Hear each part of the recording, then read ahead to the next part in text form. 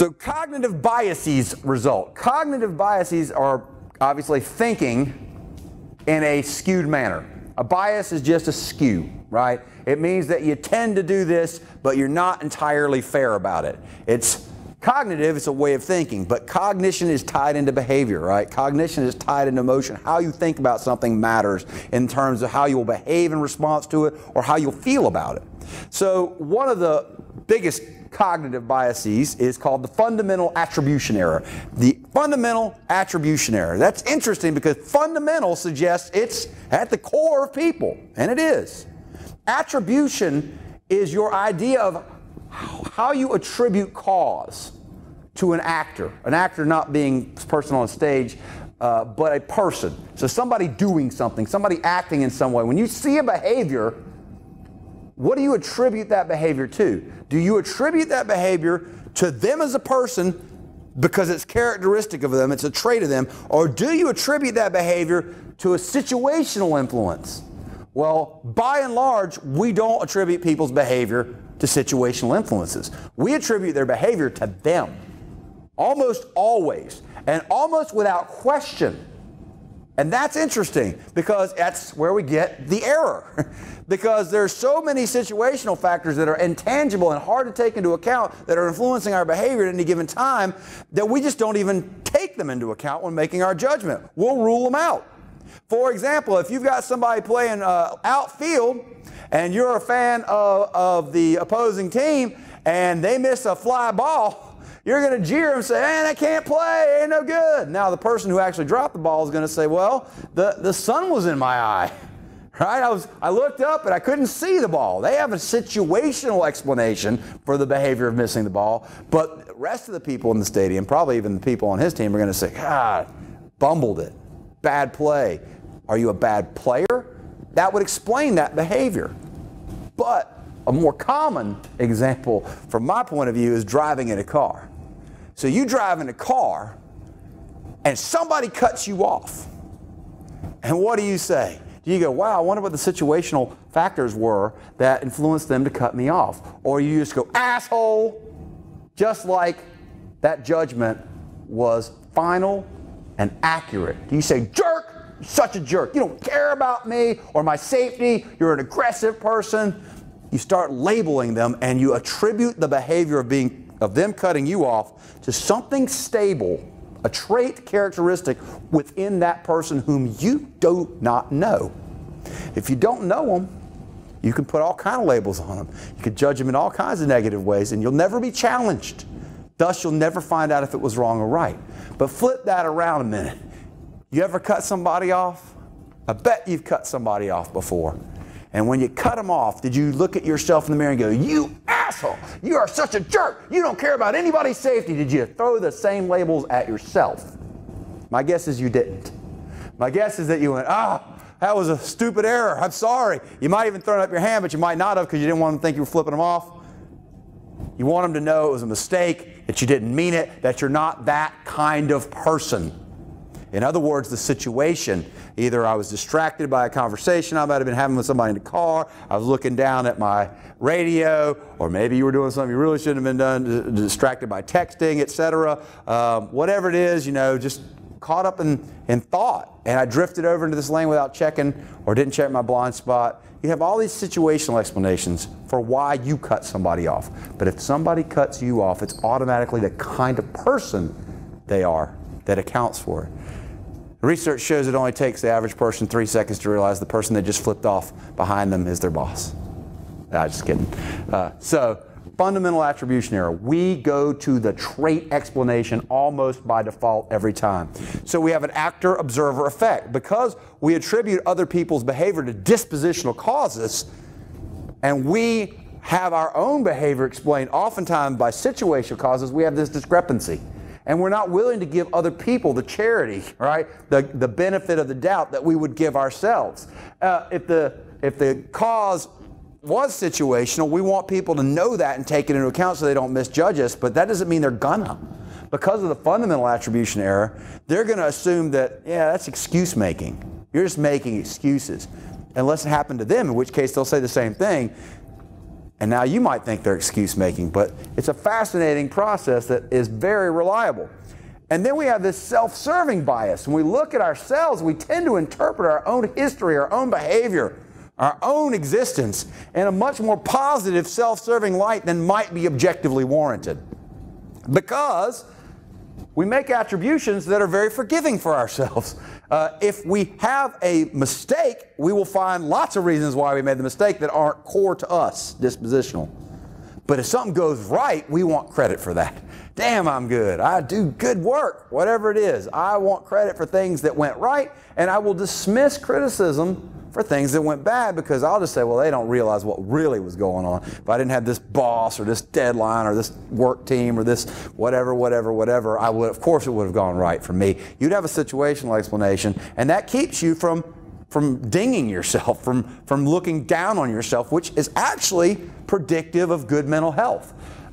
In the extreme, it's narcissism. But in a mild form, because you see yourself in a more positive way than might be objectively warranted, you're more optimistic. You're more likely to persevere through barriers and, and obstacles, and it can be adaptive to have a mild form of this. But being aware of it simply helps you understand yourself better and helps you understand other people better. Why do people sometimes seem like they don't take responsibility? Probably because they don't see themselves as responsible as you see them. They see themselves differently. That's part of this whole social cognition thing. And then, I've talked about this before, you have the self fulfilling prophecy. By making a judgment about people, you form in your mind a schema about them. And then all the evidence is going to fit into that schema. You're not going to see them objectively anymore. Once you've made your judgment, you will treat them in ways that are consistent with that judgment, and you're very likely to bring about behavior that seems consistent with the judgment, thus confirming that you were right, giving you false pride and false confidence in your judgment. Labeling people has a powerful effect, and you want to be very careful about this because it happens so subtly. People are so confident they made the right decision. You look on Facebook if you want a little bit of judgment. It don't take long to see people firing off, and they've got full you know, judgments rendered on people they've never met before when they have just scraps of information about the situation that we're considering. I'll give you a real situation. I was in a local elementary school where my kid was going to school and they had a teacher appreciation break. That morning they were going to have a breakfast for the teachers and they asked parents to come in and look after the classroom. Now, you know what we know about memory? I think it was a first grade classroom. Might have been kindergarten or I don't think it was kindergarten. I think it was a first grade classroom, could have been second grade. Anyway, I walk into this classroom as a teacher, uh, you know, was walking out. I'm the volunteer that's going to look after the class. And the teacher says, thank you for coming today. Seems like a nice person. And then she says, now before I go, I want to look out for that one because he's a liar.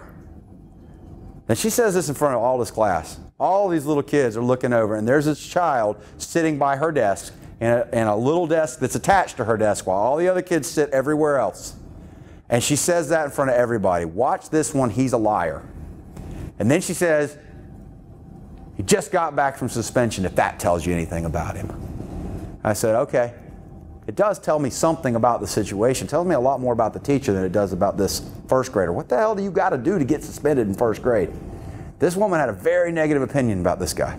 And she says, he's got homework to do. All these other kids can watch TV. They had a movie they were going to have. They can have snacks and watch the movie. He's got to do his work, but he'll never finish it. I said, okay, thanks. Just neutral. She walked on.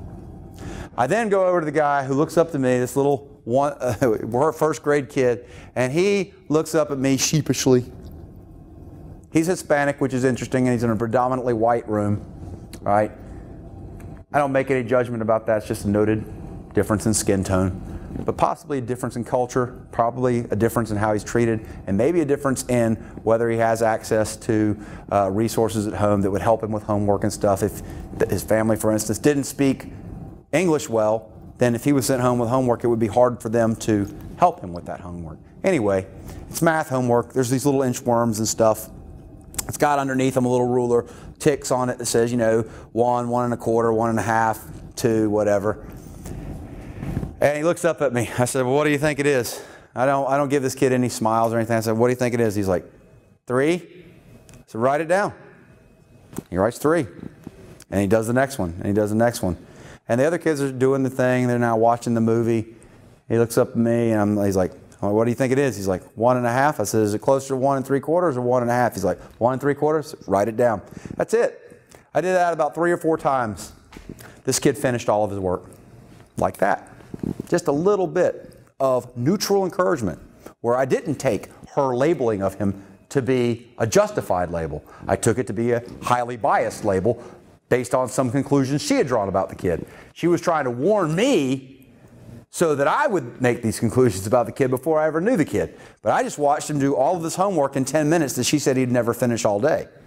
After that, it was snack time. And he said, Can I pass out the snacks? I said, Go ahead. Again, I'm not going, Oh, you did a good job. I'm not giving him lots of positive feedback. I just said, Go ahead. He got up with a tray full of snacks and went around pretty as you please to every single kid, and each kid pulled a snack off the tray. And then he went back to his own little desk attached to the teacher's desk, and he got his snack. And interestingly, he spilled his drink. And he looked at me like he thought I was going to beat him to death. He looked frightened when he spilled that drink. I just looked at him and went, shrugged my shoulders.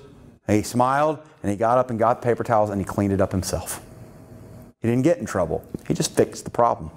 After it was all over, time to get all the trash up. He said, Can I collect trash? I said, Absolutely, go ahead. He went around again, every person, and got all this trash. Now that don't look like a devil kid to me. That looks like a kid willing to do some really cool and pro-social things and get his homework done, et cetera, et cetera. Do you think I told that to the teacher? Absolutely not. Because she already concluded he's a little liar going to be expelled again, probably, and that anything that I said in the positive, she would think I would be naive and that he played me and manipulated me into thinking something that certainly wasn't true. But can imagine if she's already drawn these conclusions, how she treats this child in class. And the things that you would do if you were thought to be a liar, if you were told in front of everybody you were a liar, that you were no good, that you weren't able. This kid's going down a bad road because this woman is going to tell the next teacher that he gets in the next grade up. Watch out for this one. He's a liar. He's a bad one. And by having that already in their mind, they will then treat the child differently. The child will act differently and they will confirm their suspicions. Anything he does good is going to be considered to be manipulative and ingenuine.